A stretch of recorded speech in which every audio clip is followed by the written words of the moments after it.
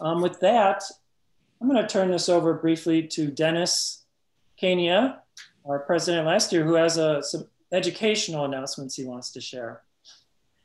Hi, thank you, Steve, and hello, everyone. Great to see uh, a great number of uh, participants today. This is, uh, we're really hitting it out of the ballpark today. We're up to 112 participants. That's, that's really great. And so um, along those lines, as long as we've got the attention of so many people, I wanted to announce a few um, activities that are coming up, uh, kind of educational opportunities. And so the first one that I wanted to mention is that with uh, Kane County Audubon, uh, their monthly meeting will be next Wednesday on April 14th. And the speaker is going to be talking about, um, it's kind of a, a spring warbler tune-up. And so uh, there'll be this discussion on um, visual cues for identifying all the warblers. And it'll actually be uh, the first opportunity for the rollout of seeing warblers from below, which is something we're going to be focusing on in our uh, mini tutorial education channel on YouTube uh, in May. There's going to be two programs that come out uh, all about identifying warblers from just seeing them from below. So I think that'll be interesting. Uh, I also wanted to mention that the Morton Arboretum has a lot of educational opportunities and a couple of them are classes that I'm doing. Uh, I have my uh, seasonal field study class, which is uh, five Sundays. That one's going to run from May 2nd till May 30th. And uh, those that's entirely a field class, so you're outside birding all the time. And it's a great way to get uh, a good foundation for your, um, for your birding skills. There's also a spring warbler workshop. Uh, that's going to involve a Thursday evening lecture on May 6th from 6.30 to 8.30. And then two Saturdays following that where we'll be doing field work and that'll be on May 8th and May 22nd. And in addition to that, uh, the Arboretum also offers uh, bird walks on several Saturdays throughout the season. And they are going to have, uh, and those run from 8 o'clock till 10.30 and those are on April 18th, May 16th, and June 20th. And then finally, uh, DuPage Forest Preserve also has some educational uh, birding opportunities. They do some bird walks as well, and they're going to do one um, at Danada Forest Preserve on April 9th, and that's a Friday, from 7.30 to 9.30 in the morning. Herrick Lake uh, on April 16th, also a Friday, same time.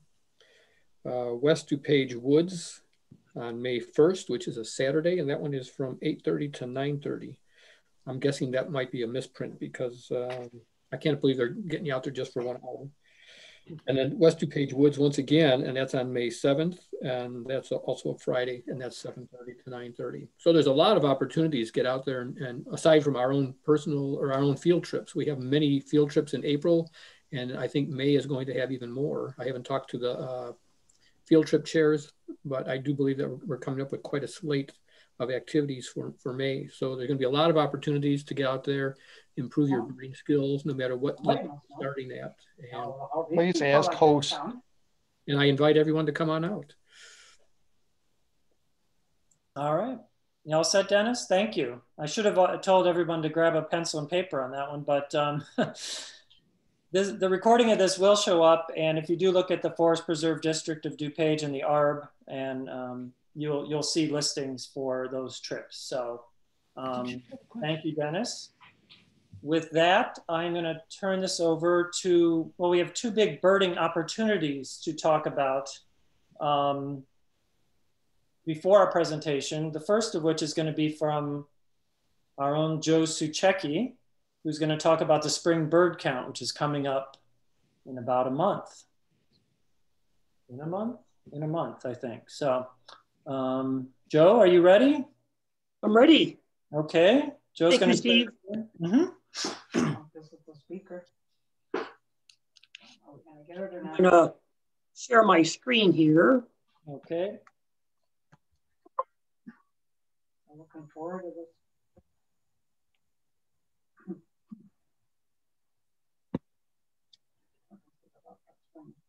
So I, I uh, thanks uh, Stephen Adley for giving me some time to talk about the spring bird count DuPage County. Uh, it's coming up on Saturday, uh, May 8th. And uh, for those of you who aren't familiar, the annual spring bird count is a great tradition here in Illinois. uh, that started back in 1972. Uh, and almost all the counties throughout the state participated in it. There were a few, a few counties, kind of some of the rural southern counties that uh, you know don't, don't have many birders, and sometimes they're uh, you know they would have folks do the count. But uh, Illinois DNR tries to get uh, the whole state covered, and it's information that they use that provides some indications of uh, bird migration and also trends. Uh, it's held on the first Saturday after May 3rd, and it's the date is kind of a compromise so that uh, uh, with, with that stipulation that should be good for both Southern Illinois and uh, Northern Illinois. Um, and it's similar to a Christmas count if you've been on one of those where instead of just going out and recording species, you actually go out and count all the birds observed uh, over a 24 hour period. It's different from the Christmas count in that there aren't any circles like the Fermi circle or Arboretum circle. It, it's a coverage is, is by county wide. Um, the first one was held in 1972. Uh, DuPage County started their count in 1973. Uh, so we have 48 years of continuous coverage for DuPage and over that time period, on the spring count, 260 species have been recorded in the county. And our all-time high number of species was 183 in one day in 2004. Last year, um, we had 155 species. Uh, it's also of note that we had, had 107 participants. We're generally the highest or you know close to the highest number of people who participate. And I'd like to keep that record going. So if everyone on the video tonight, on the meeting tonight, signs up, we'll be in good shape. Um, and then last year, we, you know, while we had um, kind of an average number of participants, we actually recorded the highest number of party hours ever in the field. Uh, and of course, last year we had a number of uh, issues with the pandemic. We weren't allowed to get into Fermilab or Arboretum, and we had kind of constraints on uh, how we were to conduct it. So uh, how we do this is each, uh, the county is divided into 16 areas and that's in these traditional areas that have been set up for a long time. And then uh, there's an area captain for each one. And then the area captain coordinates how people who are uh, going to go out and count in that area uh, you know, covers covers the field, and then also they, you know, people submit their uh, results to the area captain. This is a map just to show you of the 16 different areas. Um, so kind of, you know, this will be available as, as uh, Steve said on the recording, uh, but just kind of kind of look at how, how it is available. So uh, this year, uh, we'll, we'll, still have a couple of restrictions in place with COVID, but it's certainly not going to be as restrictive as it was last year. And it's we're, we're basing it uh, to have similar restrictions as on a DuPage Birding Club field trip. Um, uh, this year, uh, we're going to allow groups of people to get together, uh, up to 15 people. Um, we're going to ask everyone to wear masks if you're birding in a group. And uh, there's still no carpooling unless you're uh, in your carpooling with your bubble, your immediate family and friends who, who you know are good. And uh, the organizations, as I said, and assignments will be up to the area captains. And I know the Arboretum will be open for people to sign up. And I, I believe that Fermilab is going to be restricted again, if at all. Um, so we're not going to have a lot of people at Fermilab. So the good news is if you participated before in previous spring counts, you don't need to do anything. Um, I plan on sending out information to all of you in, in, in the areas and the captain in another week or so. So um, if you have participated before, you're already signed up and you should expect an email from me and then a contact from the area captain about the count. Um, if you have not participated and would like to, uh, just send me an email indicating your interest. And I've got the my the email address that I'm using for this up here. And that contact information is also on the website and in Drummings. So uh, we'll find a place for you to participate. And you know, uh, this is a count where uh, your your skill level is not critical. You want everybody to get out and have some fun. And so if you're a beginner, um, you know, you're you're welcome to participate, and we'll maybe we'll pair you with a more experienced birder sometime. But it's it's always lots of fun.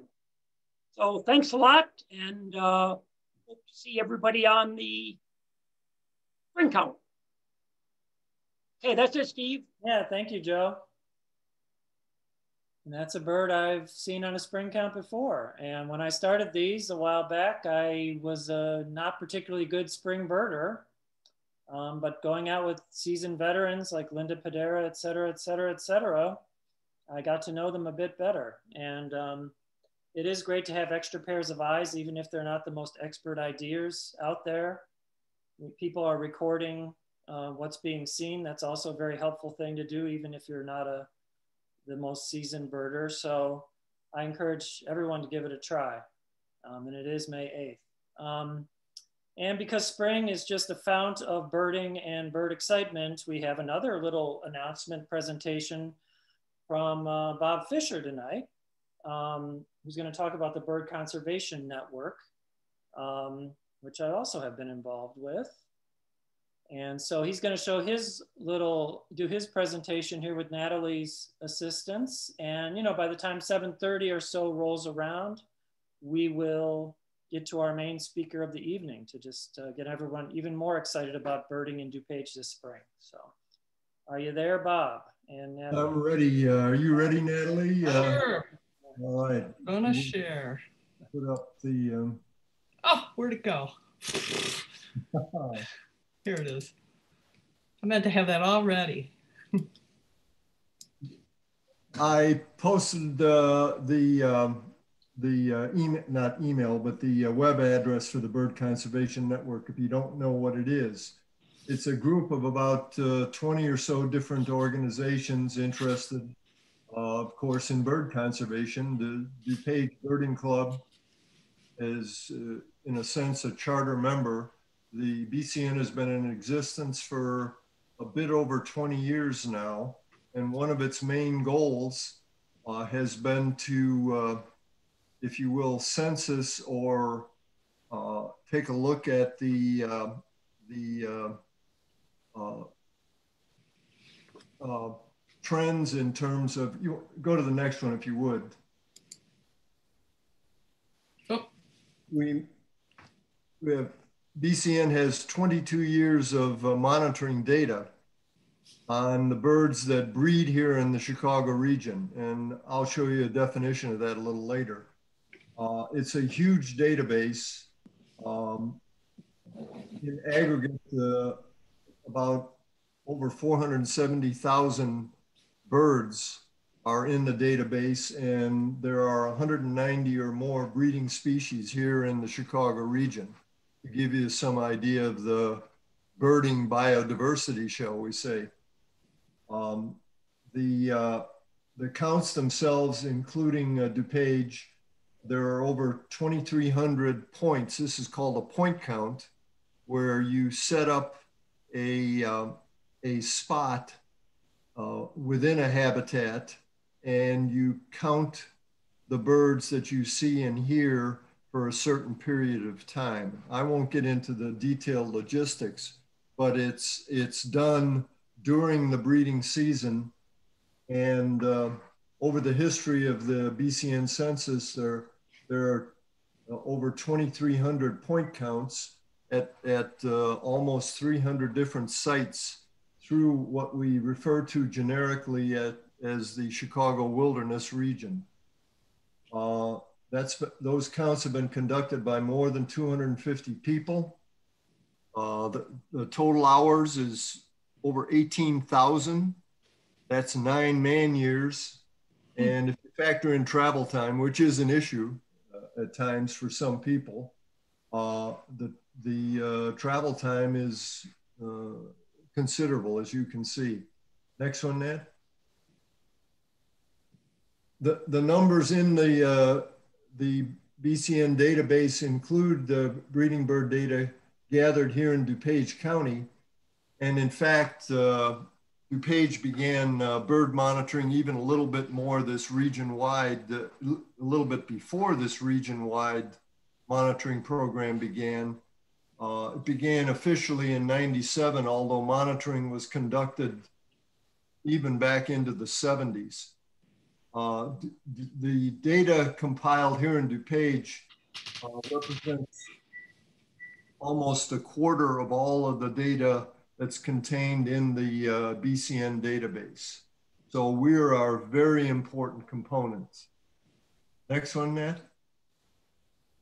Um, why count and why record the data? By the way, all the data is recorded and retained uh, in eBird. Fundamentally, um, the data is then used to analyze population trends for the birds that breed in within the Chicago or Chicago Wilderness region.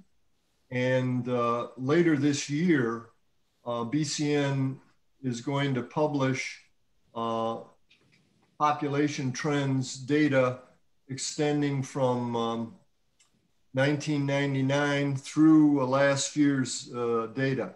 So uh, 22 years worth of data. Go ahead, Natalie. What do we do with that data once we have it? Uh, one of BCN's major projects is to produce information which I'll essentially call a list of birds of concern.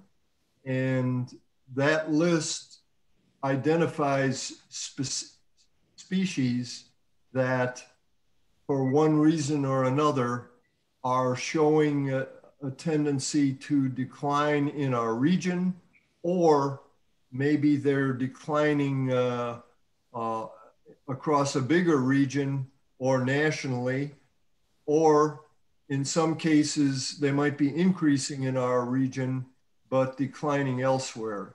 And I'll talk a little bit about why that is. So the birds of concern, this brochure is from, I believe, 2013. So this is uh, essentially seven or eight years of additional data, which will be used to produce uh, the 2020 version. And how do we use that? To go on to the next. It's used to encourage landowners, land managers, site stewards. For example, Joe, uh, Joe Suchecki is a site steward at, uh, at uh, Springbrook. It's used to um, evaluate the, the habitat, how the birds are doing, and what can be done to enhance the breeding habitat uh, for those uh, bird species that breed here in the Chicago region.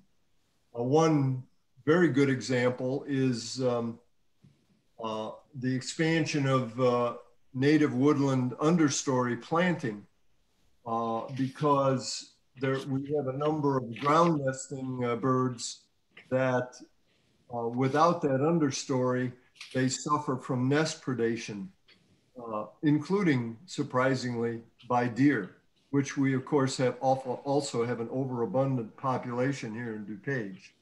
So uh, wood thrushes, ovenbirds are a couple of the species that are affected. So rebuilding the understory uh, the land managers can use the bird data to determine where and how to do that most effectively. Go ahead.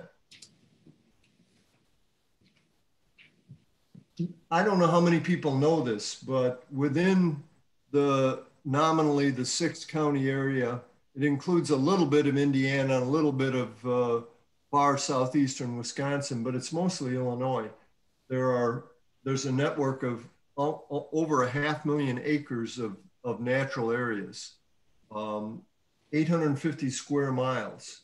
And of course, we sit right in the middle of one of uh, the US's largest metropolitan areas. So it's a rather amazing uh, juxtaposition of natural areas with a huge uh, population.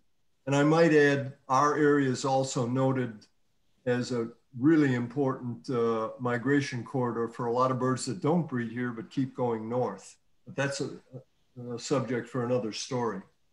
Uh, go ahead, Ned. Just to give you an idea of how comprehensive the coverage is, um, there's a program called the North American Breeding Bird Survey. Uh, they conduct 3,200 routes, and uh, each route is counts at 50 points. So each year they count at 160,000 points across those uh, 3,200 routes. If you scale up the uh, density of our coverage, the uh, breeding bird survey would have to do 10 times as many routes to accomplish uh, the coverage density that we do with the Bird Conservation Network uh, uh, breeding bird monitoring. Go ahead, Ned. For people who are listening to this, if you'd like to become a monitor, here are the, the uh, there are eight sites right at the moment that um, monitors are needed. About all but one of them are in the uh, western half of the county. Uh, the skill you need, probably most importantly, is the ability to identify uh, the breeding birds that inhabit specific habitat types by ear. So if your if your site is in the middle of a uh, a grassland, you're going to need to know the uh, the songs and call, calls of the breeding birds that use that grassland. Uh, you have to make anywhere from four to six uh, visits nominally starting at sunrise, and typically there are several points involved. So you'll end, you'll probably end at, uh, if you start at sunrise, you'll end at 8 or 8.30. Um, and in order to qualify, the DuPage County Forest Reserves has a fairly rigorous um, protocol to qualify here in DuPage. And uh, you have to fill out a, an application packet. Uh, you have to sign a waiver. Uh, they do a background check on you. And then they essentially approve you for monitoring. Go ahead to the next net. This didn't come out very well, but this local shows locally where the eight sites are uh, within DuPage County right now. Fisher Woods on the east and all the other ones are on the western side of the county. And by the way, there uh, you'll be able to access a list and some more background information uh, that'll be available. Go ahead to the next one, man. This is just a sample of the, um, the uh, volunteer job description that DuPage County uses, the Forest Preserve District. That's one of the documents that'll be available to you so you can look it over. Go ahead and go on. So if you're interested, um, you can simply email dbcbirds at aol.com and you'll get a one page fact sheet which will give you uh, links to much of what you've seen here, how to, how to uh, if you will, sign up. And it'll also include links so you can look at some of these individual sites on the Forest Preserve District website so you can get an idea of the type of habitat that you would be covering. And I emphasize that it, it, it isn't really a beginner's activity, but we do offer training uh, and uh, uh, mentors and uh, uh, it's something that sometimes you can start out with somebody, and then as your skill level increases, particularly in birding by ear, you can uh, get out there on your own. And by the way, it's done through the entire Chicago wilderness region. I mentioned that earlier. So it's uh, it's other than getting up really early in the morning, it's a fun uh, a fun thing to do. So I encourage you, if you have an interest, to uh, uh, drop drop an email to that address and uh, we'll uh, we'll get you started on the sign up process. How am I doing on time, Steve? Well, we, you got a minute or two. We need to Okay, uh, up. we'll on to the next one. We'll run to the next ones very quickly.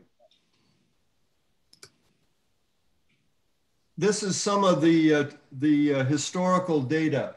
Uh, I'll just run, this is a grassland bird that nationally uh, is decreasing in, in uh, population, but locally, due to places like Springbrook, the Henslow sparrows are actually increasing. So we are doing some things right. Go to the next one. Conversely, for reasons that may not be obvious to us, but there, there's surely a reason, sedge wrens, which also op operate uh, um, in grasses, uh, wet sedge meadows, and so forth, are declining in the region. Next one. Blue, blue-gray gnatcatchers in woodlands are increasing. That may not be anything that we're doing in woodlands. That may reflect the fact that that species is reoccupying some of its uh, historical territory. Uh, Joe could tell you a little more about that related to the breeding bird, the uh, spring bird count. And the next one, um, war, warbling vireo is a shrubland bird. Again, apparently a population decline. Reasons at this point unknown. Next, rose-breasted grosbeaks. They are doing well. We must be doing something right in our woodlands and our denser shrublands because they seem to be increasing, whereas the next species, one of our favorite songsters, wood thrushes, are declining. And that may be what I referred to earlier as the, uh, as the effect of um, uh, lack of understory. On to the last couple. Rough-winged swallows in marshes and are doing quite well. Um, we all know tree swallows use uh, um, bluebird nests, so they're doing pretty well as, as well. But this is kind of an interesting species. You can see how their population jumps around, but it's been steadily increasing. And the last one, I think, in this sequence, swamp sparrow, again, is showing a tendency to decline in our wetlands and marshes. And it may be weather related. That's speculation on my part. Uh, but the next data set will tell us more because they're relating this to weather during the breeding season. Those years where you see a population spike might represent wetter years, and where there's been a drop off, that might represent drier years. So that's just to give you an idea of how the data is used and why it's important to keep doing it. Go on to the last, I think. Yeah, we don't know enough about our marsh and wetland birds and some of the less common breeding species. Uh, the more data we collect, the better we'll understand how they're doing. And on to the last one.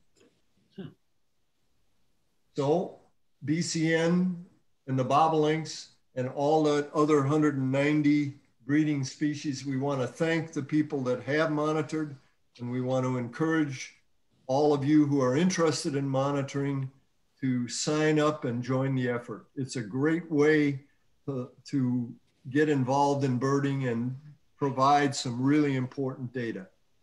I think I'm done. Yep. Thanks a lot, Bob. I look forward to seeing what the data for the last decade or so does with those trends and what our new birds, if we have new birds of concern or some that are you know taken off the list. There's a lot to look forward to when the data is finally processed, and we'll try to have BCN back to talk about that. Um, there is a question in the chat for you, Bob, if you want to look at that. I think it's about like margin of error on the orange trend. Yeah, I'll answer it right now. The, the vertical bars are just to break up. Uh, they represent, uh, I think, uh, two-year intervals. Okay. Um, all right, Natalie, I'm going to leave it to you and John now. We can get our main presentation underway here. Thank you, everyone, for um, you know all Steve, this. I would, Steve, I would like to make one comment. Oh, okay. Just, just to make sure it's clear. You know, I did send out in the chat that you have to register for those forest preserve field or bird walks. And so the place to do that is through the Forest Preserve District's website. and they do cost $5. So just in case people missed that information in the chat, I just wanted to make sure that they all got that. Okay. Yeah. Thank you, Dennis. Yeah. Like just like the Arboretum too, you have to register on their site and. Right. Okay.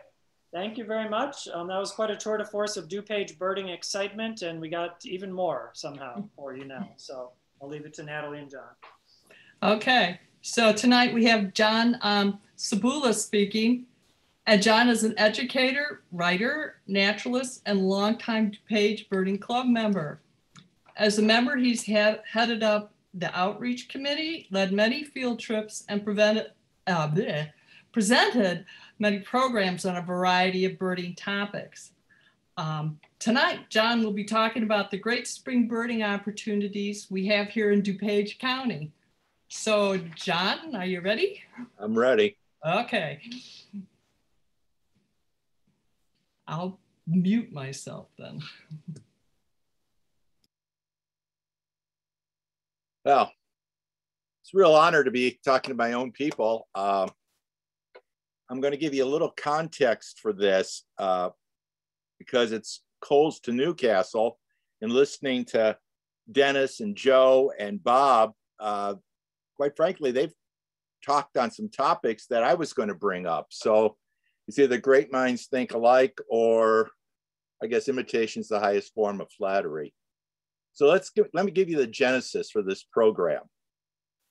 I was asked probably in February by uh, the Woodridge Public Library to do a follow-up program on birding that uh, I had done one in the fall and it was well received. And I was asked very specifically to do one on spring birding. And I, I was hesitant for a couple of reasons. Uh, one, I was in Florida at the time, and the majority of my photographs uh, that I would have liked to have used were, quite frankly, on computers up here in uh, Glen Ellyn, not where we were in Florida. So I was a little bit hesitant. And then I realized that, well, last year I set myself the challenge of photographing 100 species of birds. Thanks to DuPage County, I was easily able to complete that. In fact, uh, I think I have 130 some 137 birds that I ended up photographing. Don't you know though that I was still in Florida when I was supposed to give the program for the library and in the meantime, Natalie had contacted me and asked me to kind of do the same program, make it you know a little more bird club friendly uh, for the club. Well, the the uh, library program was going to be my warm up. The day we were supposed to do it, the entire region that I'm in in uh, northern Naples lost internet and television, and we lost it for about 14 hours. So when I tried to do the birding program using my wife's cell phone as a hotspot, the bandwidth wasn't enough. Long story short, the birding club is going to be my uh, trial run. And I think in a week or two, I'm doing it for the library. So, but I had some questions when I began. Was I going to talk about the birds that I see in the morning when I'm having a cup of coffee and looking at the lanai, out my lanai at the lake that's about 15 or 20 feet from the window? you know, I see birds like the little blue heron here with crayfish all the time. And I thought, no, I didn't want to do that. What about what I see when I go to the beach? You know, there's at least five species in this photograph. And I thought, no, that's that's probably not appropriate. What about the birds I see when I go shopping at Costco? This was in the parking lot at my Costco. Um, no, that's really not relevant to Woodridge or maybe even to DuPage. And certainly the birds, and this is from my secret spot where you don't have to pay an arm and a leg to get in. I really object to any site where I have to pay to get in to watch birds. And I, yeah, I, I altered this photograph, but this is a great tourist bird. And I've had people come and tell me, oh, they're going to this Audubon site or this wildlife refuge to see the spoonbill and not see it. And I've got a spot where I always see it and it's free. So that no, I don't want to do that. What I thought I'd do is talk about the birds I saw last spring into summer as I tried to complete my list. birds like the sandhill crane, or birds I saw underneath my feeder. Now this I had to take through my basement window, but the eastern towhee. So I thought, I'm gonna do that. So what I'm gonna try to do tonight is, you know, combine a couple of programs. I'm gonna be talking about birds I saw with my 100 species challenge. I'm gonna be talking about some sites that I like going to, and I'm going to encourage people because I really truly believe this is true. Bob was talking about all the wilderness we have here in our metropolitan area. I am firmly convinced that our birding, a lot of people underappreciate the opportunities we have in northeastern Illinois and specifically DuPage County. I can visit more diverse kinds of habitats and see more species of birds here in DuPage County than I've ever been able to accomplish in uh, Southwest Florida along the Gulf Coast. And that includes going to places like Ding Darling and the Audubon Sanctuary and all the places that uh, get a lot of publicity. And I'm gonna be talking about places in DuPage County. Some don't get a lot of publicity, others are very well known. Now remember that initially, I'm going to be, I was presenting this to people who are new to birding. So I'm going to, I'm going to remind them why spring? Birds are migrating. You know, starting by the middle of February, you can start seeing birds. In fact, there are plenty of species, diving ducks, for example, and I'm hoping not, but possibly sandhill cranes that I usually see if I'm here in February, early March. I'm going to point out that the first two weeks of May are a high point. And as Joe points out, that's when we have our spring bird count. Yeah, one of the reasons is if you want to see a, a variety of birds, that's a great time to go. Uh, reminding them that by the middle of June, we're kind of entering the summer season and then the migration begins shortly thereafter. Birds in the spring are in their breeding plumage. You know, they look like the book, and generally the weather's going to be conducive. But I also like to remind people of this. Birds have wings and they don't read books, which means a bird can show up anywhere. Um, I'm of the opinion that birders make a birding hotspot almost as much as birds. If a spot is bird, birded by a lot of people, you're going to see a larger variety of birds than a spot that doesn't get very many uh, visitors. I'm going to remind people of some basics that the forest preserves are all good and that at our Birding Club website under, uh, we have a site where you can go and read about particular sites that many of us really appreciate. Something that was brought out, uh, I think Bob brought it out, that you want to go to areas of mixed habitat.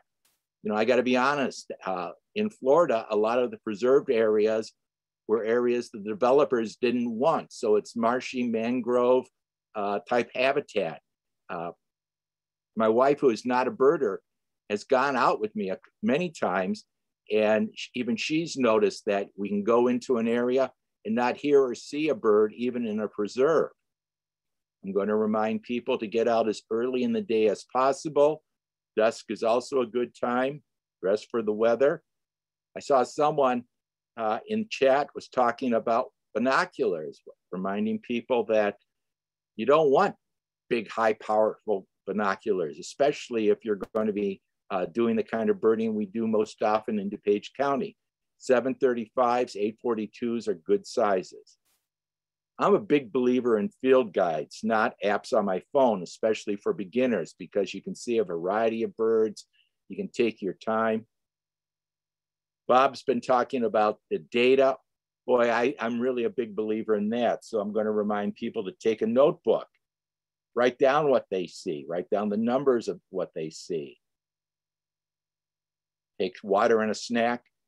And I didn't realize this till Bob Spitzer and I were coordinating field trips, but there are some people who are hesitant, let's say, about going into the forest preserves. DuPage forest preserves are incredibly safe if you're concerned about being a crime victim. But still, it's always a good idea to let someone know where you're going, what, what, uh, when you intend to be done. And uh, having spoken to Forest Preserve Police, it's a very good idea to remember to lock your car. DuPage County has incredible number of forest preserves. And if you go to their website, you can click on them and get maps and read about them. Um, it'd be a challenge, I think, to give yourself a two or three year period and promise yourself you're going to try to visit each preserve at least once. Certain areas of the county are heavily birded. Other areas, from what I can tell from our bird club members and from when we try to run field trips in those areas, probably are less well covered. And I'm thinking particularly of the northeastern area, say from North Avenue north and from uh, 365 east. Well, my birding, when I got back from Florida last year at uh, end of March, a bird that I really miss in Florida is the dark-eyed junco. So I'm going to tell the beginners that this is a bird they can look out for. And this, this was, you know, I went in my backyard and saw it. And I'm, I'm sure we're all familiar with juncos, or eventually we will be.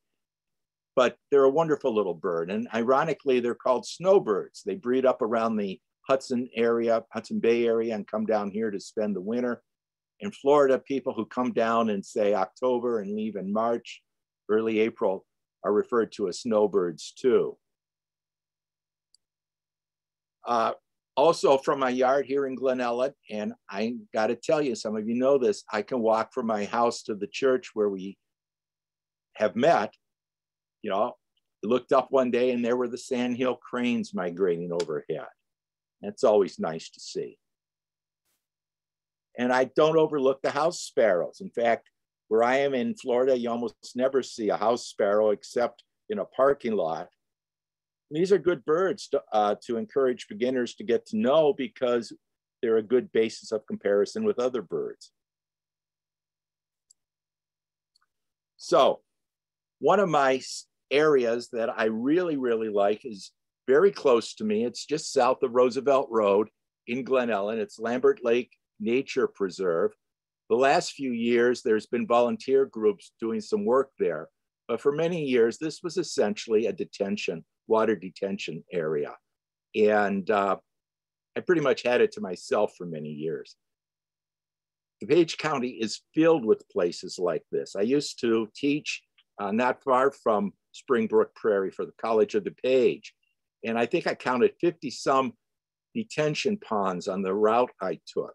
And each one of them during migration attracts a variety of shorebirds, waterfowl, and you know they're not they're worth looking at. And if there's one by your house uh, i'd encourage you to go out spend some time visit at different times of the day uh, over a period of time and i think you'll be surprised at what you see. Well it was one of the first places i went to when i got back last spring. And of course i saw the mallards which is a duck that does not occur in my part of florida we have the mottled duck down there which looks rather like a female mallard. And of course, American robins, another bird that where I am in Florida, people get very excited about seeing robins. They almost never show up at along the Gulf where I uh, where I spend some time. And red-winged blackbird, which to me is the one true sign of spring. And it's funny, I've never seen a red-winged blackbird where I am in Florida, but if I go about an hour or so up the coast to Sarasota, there are huge flocks of them. So that's the difference a few miles can make. And grackles. Now this is very common bird where I am in Florida. Uh, here, of course, um, it's a, a, spring, summer, fall bird. I was told once upon a time when I was thinking of opening a wild bird food store uh, where I am in Florida, not to bother because grackles would be about the only bird I would get at the, you know, feeders, and people just aren't interested in feeding birds. Of course, this is a great bird, uh, the great egret, which is one of our more common heron species, long-legged waders up here. Where I am in Florida, um, they're rather unusual. I have to go inland to see them. They're not found along the coast. And a bird that I really like seeing up here, and all these birds were at Lambert Lake, is the great blue heron, which again is very common here. but where I am in Florida, not so much. Of course, sometimes there's the all white variety, and that uh, I have yet to see one, or I've yet to see an all white large heron that I would definitely call the white form the great blue.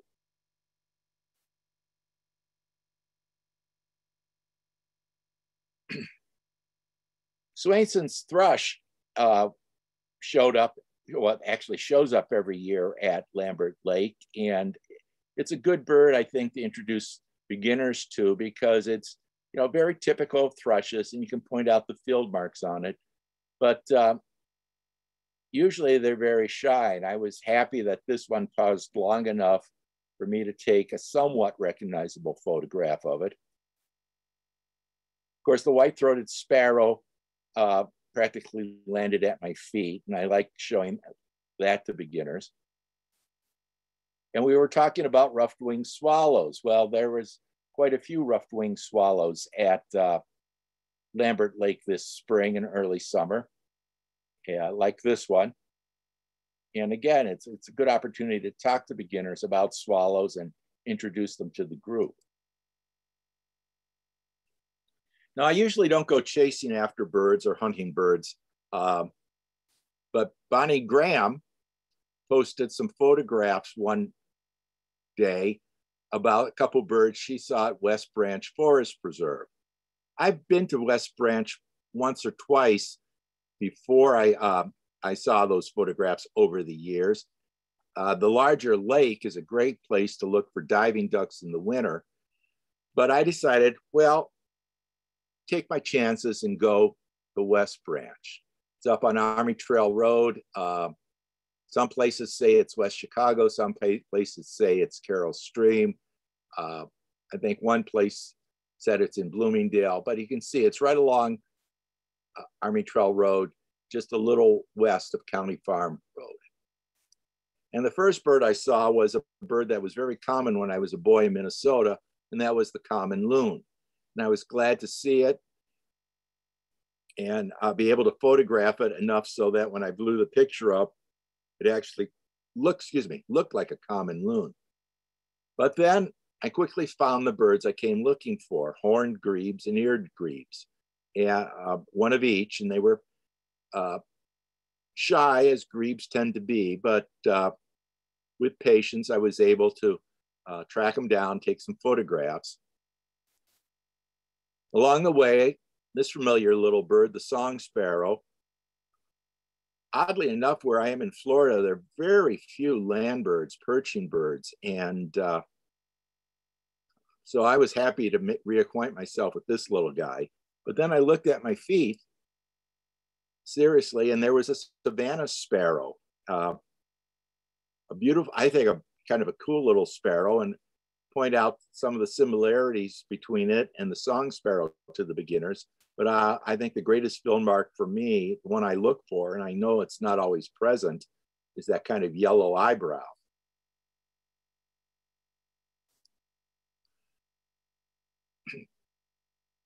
the east side of um, the, the forest preserve was mostly grassland, but when I went around the lake, there was a woodland and there were ruby crowned kinglets in there lots of them.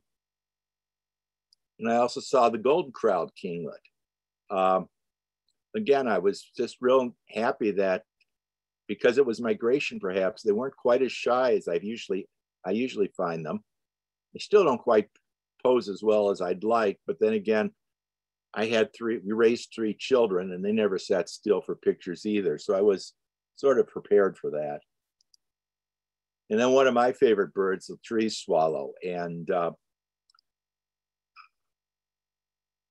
we've already pointed out, you find them in bluebird boxes, and they're probably one of the most common swallows in DuPage County. But it was very easy birding West Branch because there's a trail. There weren't too many bicycles or dog walkers, and uh, I really, I really enjoyed reacquainting myself with what it was like. Well, here's a spot that's certainly not an underbirded area. Uh, but boy, if you're talking to beginners, uh, I'd really emphasize the treasures that you can find at Elsen's Hill and Wind, Woodfield, Winfield rather. Uh, during migration, it's very diverse habitat. And during migration, you can start seeing things like the rose-breasted grosbeak, uh, spring. I didn't mention it earlier, but I'll mention it when I talk to the library next week. A nice thing about spring is if it's not too far advanced, the leaves aren't out on trees and you can still get a fairly good view of the birds. And scarlet tanager. Now, to be honest, this scarlet tanager is not a spring bird, and I did not photograph it at uh, uh, Els Elsen's Hill. Rather, this was photographed last September at Lambert Lake. But I wanted to point, point out that, you know, this is the male during the fall, and this is what you see in the spring if you go to Elsen's Hill, which for me has been the most dependable site for seeing scarlet tanagers in the county. And of course, brown creepers and the white-breasted nuthatch. But for most of us, Elsen's Hill is uh, the spot to go for warblers, and it's probably one of the best places in the region. Right about now, you'll start seeing palm warblers. Maybe they've even passed out of the area. Uh, they spend the winter where I am in Florida. In fact, I often have them uh, fly up on the screen of my lanai and peck insects off. And they're very, they're very approachable down there. Um, I've had one almost fly into the lanai when I was walking out, but uh, they're an early spring warbler. And of course, yellow rumped warbler. And I like to show beginners this one to show them why it's called the yellow rumped warbler. And black and white warblers. I mean, I have lost count of the number of warblers I've seen, kinds of warblers I've seen, and the kinds of warblers seen at Elsen's Hill. If you're a beginning birder and you want to see warblers, definitely plan to go to Elsen's Hill in the next few weeks. Common yellow throat.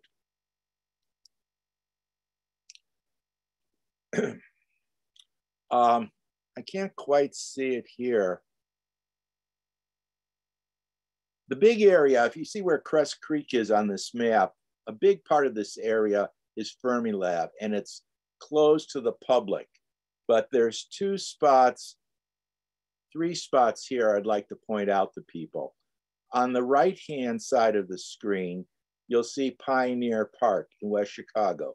That's a really a nice park, but I was asked to survey birds there by a young man, Tristram Schrammer, who was hired by the uh, West Chicago Park District to survey its natural areas. And uh, I saw a fair number of species there a year or two ago, and it's a very civilized place to bird. On my screen, I have names covering it up, but in the kind of the lower right-hand side, there's a park called Kress Creek Park, and it's literally across the railroad tracks from Fermilab. It's mixed habitat, but a lot of open grassland. It's a great place for dickcissel, bobolink, uh, eastern meadowlark, uh, several kinds of sparrows. I was amazed at the variety of birds there, and it was a place I had not gone uh, I would not have gone to, I would not have think of going to, except I was asked to go there. Now, if you go and look in the upper left-hand corner of the screen, you'll see Fabyan Parkway.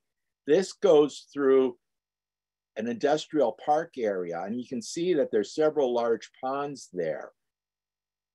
Parking for some of these ponds is problematic, but if you can park on the road, these ponds get very little human traffic. And as a result, I think they attract a lot of birds. I've seen large uh, numbers of herons of all kinds, including black crowned night herons and uh, especially green herons there. Uh, common gallinule breed in a couple of these ponds uh, off and on. And it's a great spot to go to. It's also I think going back to what I said about Lambert Lake, something I think we need to do, maybe do a little bit more of, and that's monitor these kind of unprotected places because I think they are overlooked and they do offer some rich, rich habitat, not just for birds, but for all kinds of uh, animals. There's a couple forest preserves here that are worth visiting. Mallard Lake, for one. It's very close to Stratford Square.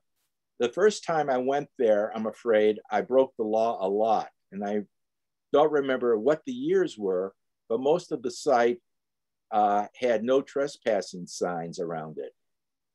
Most all the area that you see surrounding the park was farmland.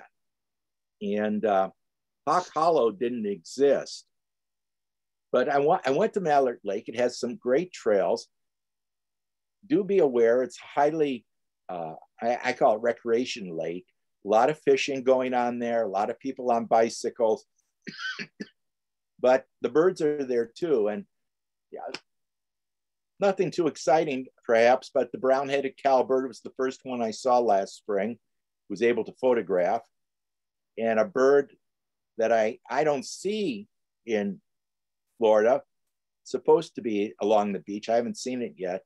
Caspian terns. I've seen its smaller cousin, the royal tern, a lot, but it was always good to see a Caspian. Well, one day I decided to visit St. James Farm. Again, this, this is very different from the St. James Farm I started going to.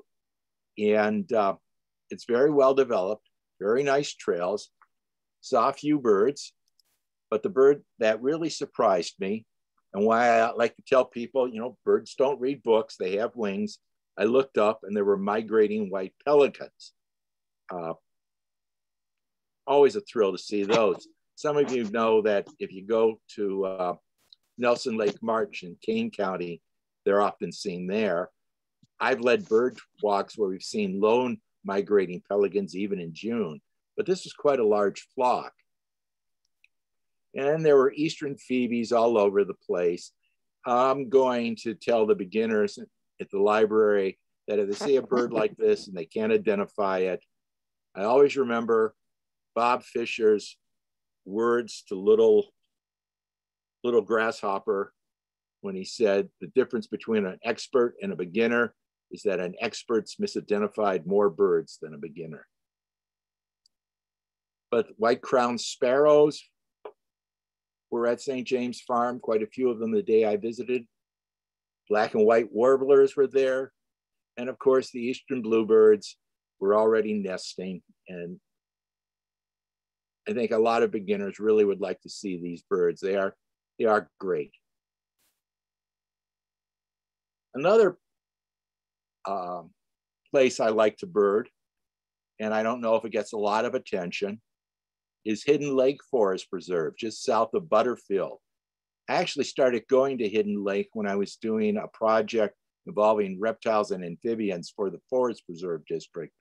But I discovered that, first of all, there's lots and lots of birds there, uh, especially during the breeding season. I like to call it the poor man's Morton Arboretum. You don't have to pay to get in. It abuts the Arboretum. Uh, a lot of the birds you'll see at the Arboretum, you'll eventually see at Hidden Lake. For the purposes of my 100 bird project, the bird that really um, helped it along was Eastern Kingbirds. They, we were there. There was about 12 of them. And indigo bunting, although this one didn't quite cooperate photographically, but uh, a good bird to point out to beginners. Of course, across the water, green heron.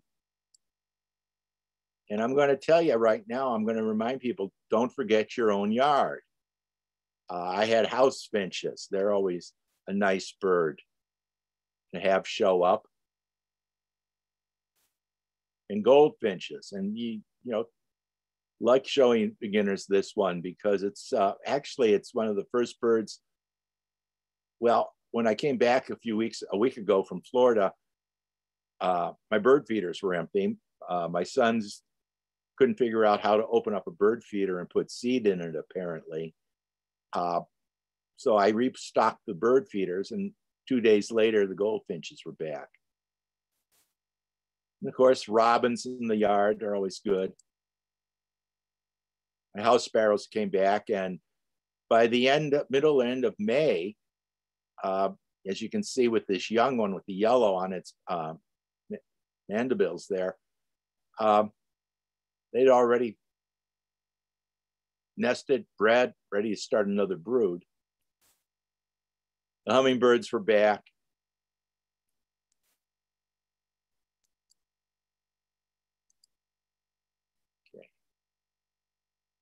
Since this was originally uh, intended to be uh, a presentation for the Woodridge Library, I wanted to talk about, want to talk to them about some of the places they have access to, relatively close.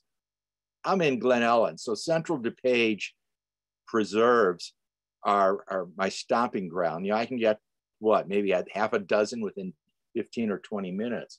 But you go up to the north, I'm sorry, the upper left-hand corner, there's Egermann Woods. Uh, there's still no parking there. I, I, found it kind of a hard place to get into the last time I was there, but it was a woodland. I saw uh, a couple great horned owls and uh, heard some of the birds. Bob was talking about things like wood thrush and uh, possibly a veery, great crested flycatcher. It's kind of it's worth it's worth the effort to get inside. And in the lower right-hand corner is Oldfield Oaks Forest Preserve, another one that I kind of stumbled on and had excellent trails, diverse habitat. Uh, you could probably walk it in an hour or less and expose yourself to open grassland, marshes, woodland. It had one of the greatest wildflower displays I've ever seen in a forest preserve. I don't want to forget Green Valley Forest Preserve. Uh, many, many trails there. That little blue lake showing up by Route 53 and 83rd Street, of course, is the, uh, trying to think what Mike Matson calls it, the fuddle. Uh, not easy to get to, but uh, we've seen avocets there and stilts and uh, all kinds of shorebirds in August in the springtime, well, quite honestly, I haven't visited in the springtime, but I imagine there's a lot of great things to be seen there too.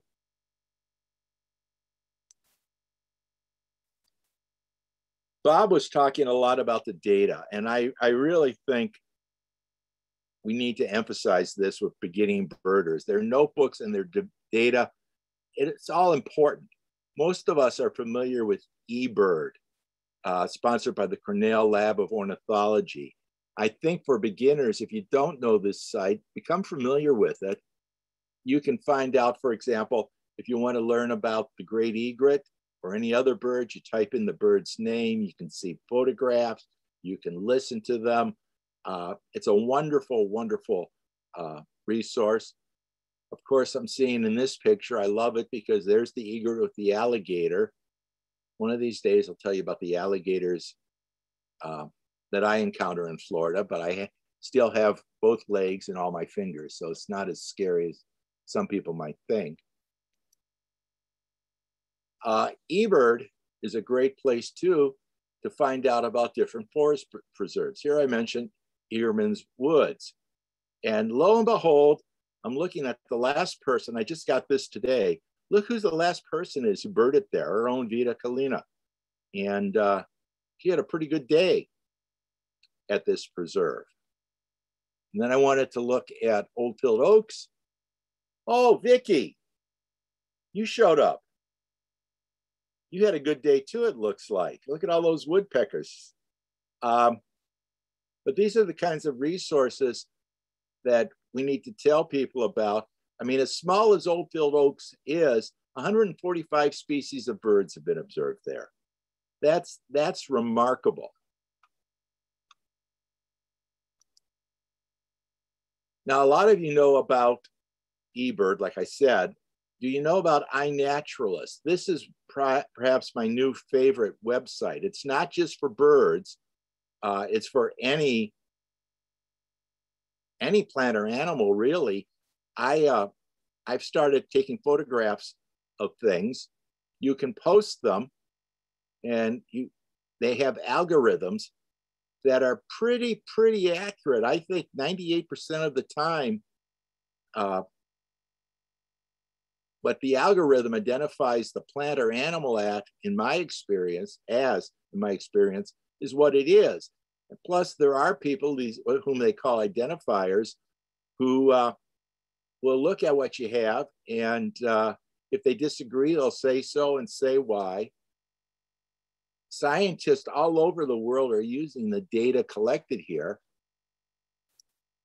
This is a, a great egret that I happen to have photographed on Marco Island in Florida. Uh, I really had to beat the bushes to find it. I was sitting at a bar in Marco Island having a, a sandwich, and uh, this bird was on the dock about 15 feet away. But uh, uh, you know, you can get a lot of information about the birds here, and you do have to register. But I think it's a resource we need to let people know about. Finally, I'm going to encourage people uh, the beginners that there are a lot of places to get information. DuPage Birding Club is a great place. Um, both uh, our website and we have a Facebook page. I try to share things there, uh, both generated by club members and by groups like Suburban Wildlife, Illinois Birding Network, Chicago Ornithological Society. If I find something, if something is shared with me, that I think of, is of interest to uh, birders. I'll put it on the club's page. I have my own Facebook page. I call it John's Natural Page. Uh, a little broader, not quite bird centric, but uh, it has a lot of the information that I uh, of interest to birders. Of course, there's ebird.org and iNaturalist.org.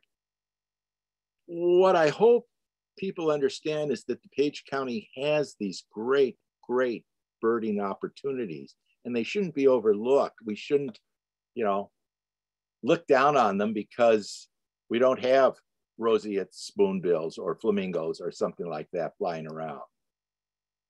So, so I guess that's all I have to say tonight. Thank you. I appreciate uh, people coming and uh, listening and watching all this. All right. Uh, oh, Natalie? I'm coming. yeah. Thank you. but Natalie's going to say she enjoyed it. So. yeah, no, thank you, John, for that. That was really good. Um, I think it's really nice to remember how much we have around us and how uh, accessible a lot of these birds are. You just got to get out there with your field guide, or I do have to use the field guide, and uh, look for them. That's right. That's right. They're there. Yeah. Well, thanks so, for tying it with your Florida life and uh, thinking so highly of uh, your Illinois and Midwestern roots. So that's great. You know, corn, there's a place for corn, and I love it. corn and pork. The birds seem to like the seeds we have here too. So, yeah. and the worms, etc. So.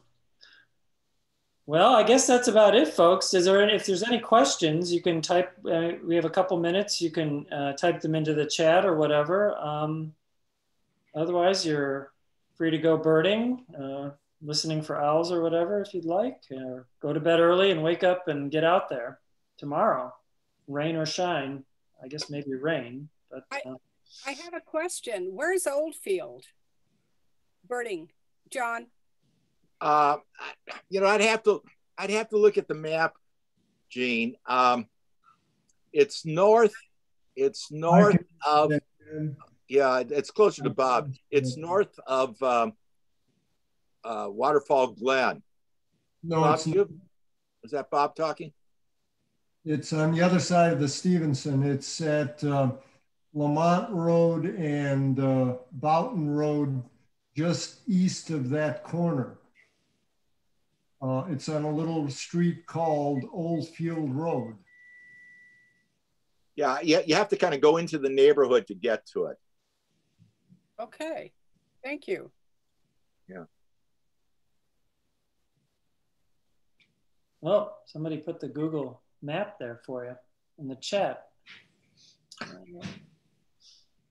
Yeah. It'll take you right there, Gene. All right. All right, well, like I said, this has all been recorded, so we will um, look for this on YouTube. You can review the maps and all the different things that have been thrown out here this evening. And don't forget our surrounding counties too. Lots of great birding there too. So. Yeah. Not And I think there's a lot of information on the, the webpage um, at the hotspots. You can go, a lot of the places that John talked about are, are mentioned on the hotspot too, with information about birding those areas. That's a good resource, especially this time of year. Yeah, The the birding DuPage section of our website has um, some great, there's a checklist of all the birds DuPage. There's hotspot profiles for more information on many places that John just couldn't get to. He had so many other ones to share. So um, Yeah. I encourage everyone to poke around our website, of course, and our YouTube page. So